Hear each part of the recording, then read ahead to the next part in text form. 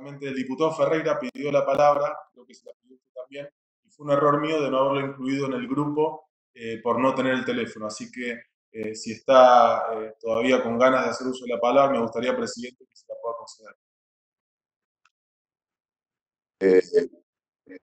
¿Está el diputado Ferreira? Sí, estoy escuchando. Bueno, un minuto, por favor.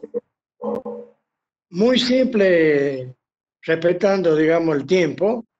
Simplemente decirle al señor ministro que acá en la provincia las empresas de transporte están al borde de la quiebra, ya venían mal, no pueden subir el boleto porque para la gente de acá de la provincia es muy alto, y ahora con este parate producto de la pandemia, están casi imposibilitados de pagar los sueldos.